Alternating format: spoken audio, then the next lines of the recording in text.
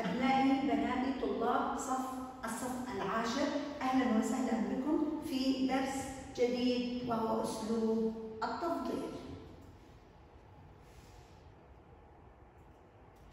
آه، أعزائي الطلاب درسنا هو أسلوب التفضيل للصف العاشر. المحور هو الكلمة والجملة والوحدة الخامسة. الأهداف التي سوف نقوم بتحقيقها معا اليوم إن شاء الله. الهدف الأول وهو أن يحدد الطالب أركان أسلوب التفضيل. الهدف الثاني أن يسوق الطالب اسم التفضيل من الفعل غير المستوفي للشروط. أما الهدف الثالث وهو أن يعرف الطالب اسم التفضيل. طيب. أعزائي الطلاب والطالبات أريد منكم أن تقرأوا الجمل الآتية العلم أنفع من المال والفهد أسرع من الأسد والفيل أضخم من الجمل. فلنأخذ الجملة على حين العلم أنفع من المال. نرى بأن العلم والمال كلاهما نافع للإنسان وكلاهما اشتركا في نفس الصفة وهي النفع ولكن ننظر إلى الاسم الأول العلم بأنه قد زاد في النفع عن المال للإنسان وأيضا الفهد أسرع من الأسد فالفهد والأسد كلاهما اشتركا في نفس الصفة وهي السرعة ولكن من خلال سياق الجملة نفهم بأن الفهد هو أسرع أو زاد في صفة السرعة عن الأسد والجملة الثالثة الفيل أضخم من الجمل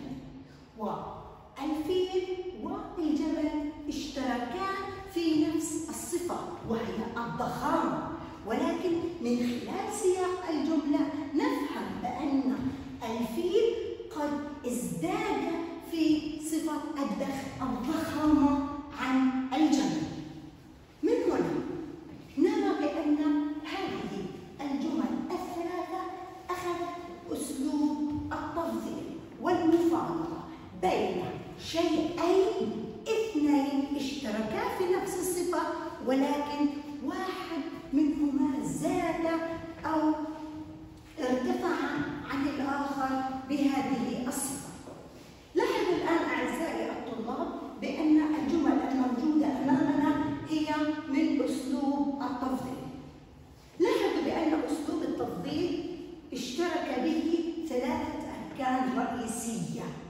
في آه، في الجملة أول شيء الاسم الأول وهو المفضل والمفضل هو الشيء الذي زادت فيه الصفة مثل العلم زاد على عن المال بالنفع والفهم زاد بصفة السرعة عن الأسد والفيل زاد بصفة الضخامة عن الجمل فنسمي الأسماء الأولى هي المفضل وهو الركن الأول نأتي إلى الركن الثاني وهو الاسم الذي تم استخدامه من أجل المفاضلة بين الاسمين. الأول والثاني وهو مثل أنفع وأسرع وأضخم وهي الصفة المشتركة بين الركن الأول والركن الثاني. نأتي إلى الركن الثالث وهو الشيء الذي قلت فيه هذه الصفة. يعني أنه اتصف بهذه الصفة ولكنها كانت قليلة به بالنسبة للمفضل فعندنا المال المال نافع للإنسان أكيد. وهذا لا يختلف فيه إثنان. ولكن العلم أنفع. وأيضا الأسد نعرف بأن الأسد هو حيوان سريع. ولكن هنالك من هو أسرع منه وهو الفهد وأيضا الجمل حيوان ضخم. ولكن هنالك من هو أضخم منه وهو الفيل فالمفضل عنه هو الشيء الذي قلت فيه هذه الصفة مثل عن المفضل مثل المال والأسد والجبل من هنا أعزائي الطلاب والطالبات نأتي إلى استنتاج اسم التفضيل. فاسم التفضيل هو اسم مشتق من حروف الفعل الماضي وثلاثي على وزن أفعل ليدل على أن شيئين اشتركا في صفة معينة ولكن أحدهما زاد على الآخر.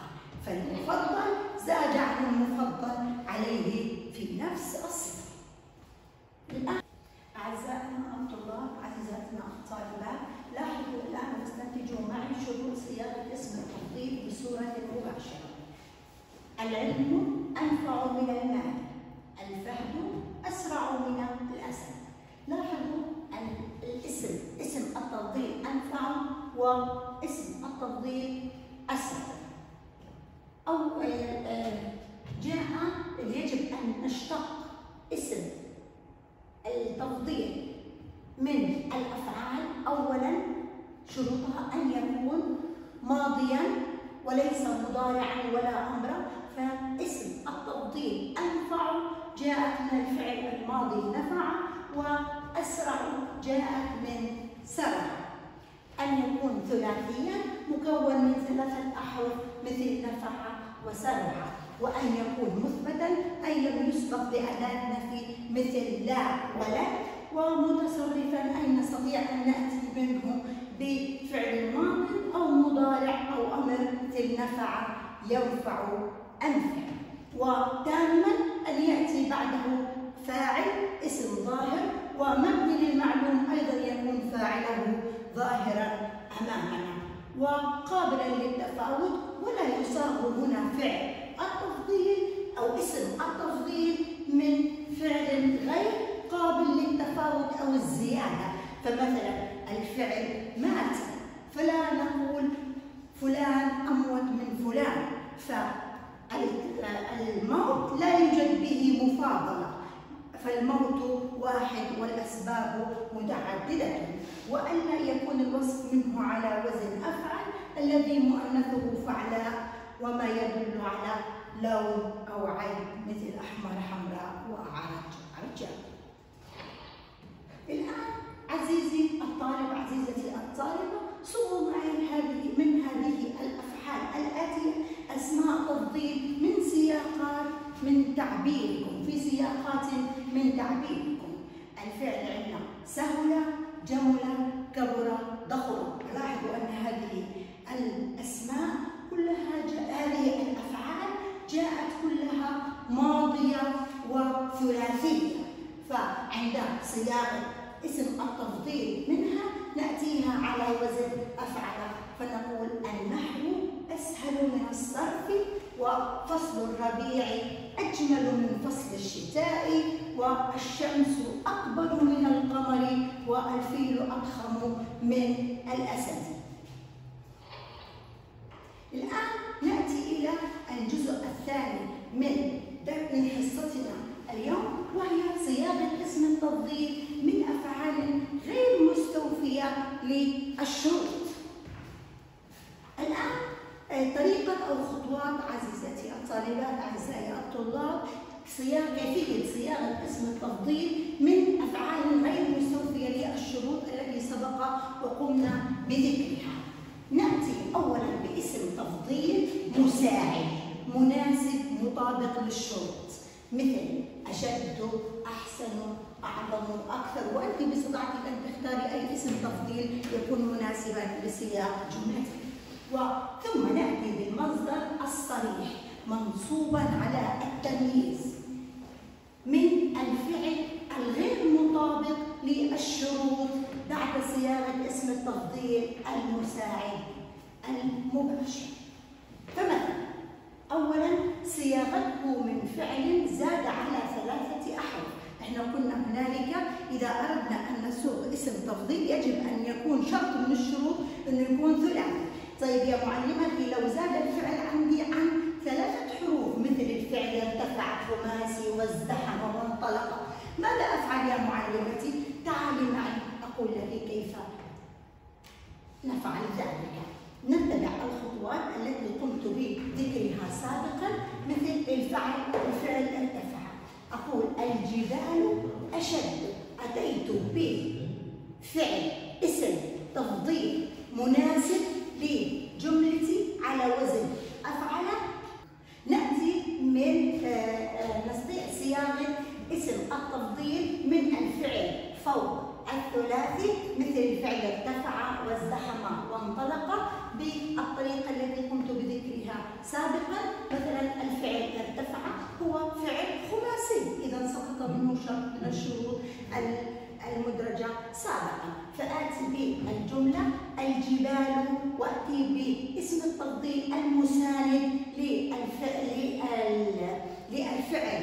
الفاقد للشروط مثل أشد ثم آتي بالمصدر الصريح. الآن ارتفع. ما هو ما هو المصدر للفعل؟ ارتفع ارتفاعا. فأتي بالمصدر الصريح بحيث أنه لاحظوا بأنه جاء منصوبا. منصوبا على التمييز من التلال فتصبح الجملة الجبال أشد ارتفاعا من التلال وعليها أيضا الفعل ازدحم.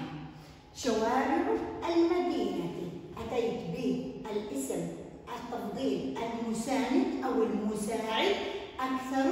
ثم آتي بالمصدر الصريح من الفعل. ازدحم ازدحاما. ولاحظوا بأنه منصوبا على التمييز من شوارع المدينة القرية الآن ثانيا صياغته من فعل دل على لون والوصف منه على وزن أفعل مثل أحمر ومؤنثه فعل أحمر حمراء وأزرق زرقاء تعالوا أعزائي الطلاب نرى كيف نسوق أيضا مرة أخرى من هذا الشرط أسلوب التفضيل.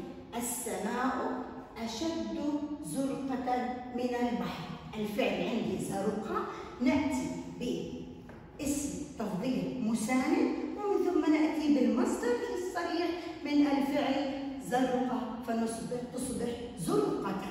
السماء أكثر زرقة من البحر.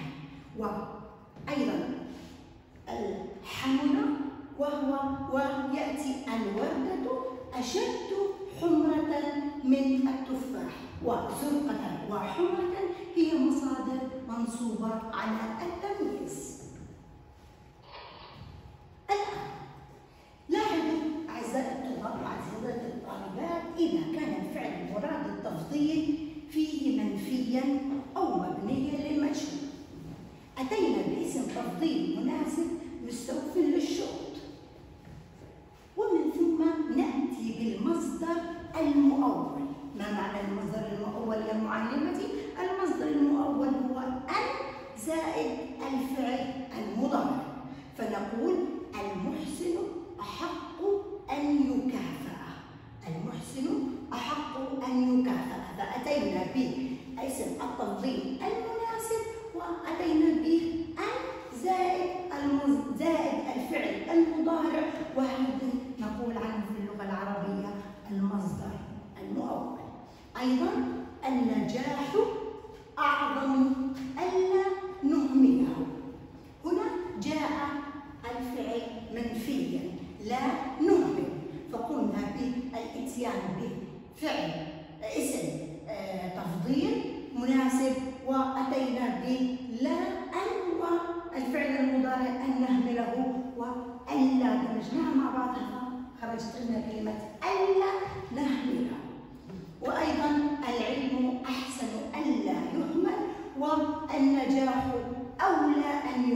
يحافظ عليه.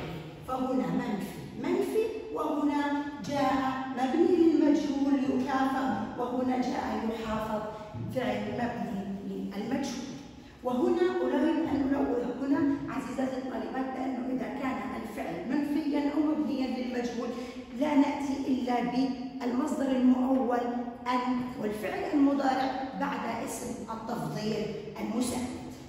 الآن نأتي إلى نعمة وبئس وعسى نعرف بأن هذه وأيضا بالإضافة إلى ليس وهذه جميعها أفعال جامعة. جامدة غير متصرفة أي لا نستطيع أن نأتي لا بالماضي ولا بالمضارع وبلا أمر منها. وأيضا عند الفعل مات وفني وهلك وغرق هذه الأفعال أيضا غير قابلة للتفاوض. فلا يوجد إنسان يموت بطريقة وآخر يموت بطريقة أخرى إنما الموت واحد والفناء واحد والهلاك واحد والغرق واحد. فلا وجود للمفاضلة بين فلان وفلان فيها. فهنا لا يصاغ من هذه الأفعال الجامدة أو الغير قابلة للتفاوض أسلوب التفضيل. عزيزاتي الطالبات أعزائي الطلاب تعالوا الآن أقوم بتوضيح نموذج إعراب لكم على الحالتين. أولا العلم أنفع من المال. هنا من فعل استوفى الشروط. أنفع العلم مبتدأ مرفوع وعلامة رفعه الضمة وأنفع خبر المبتدأ مرفوع وعلامة رفعه الضمة. ومن حرف جر والمال اسم مجرور من وعلامة جره الكسر. أما إذا أما الإعراب من. من الفعل الذي لم يكن مستوفيا للشروط فنقوم بإعرابه بهذه الحالة. السماء مبتدأ مرفوع وعلامة رفعه الضمة.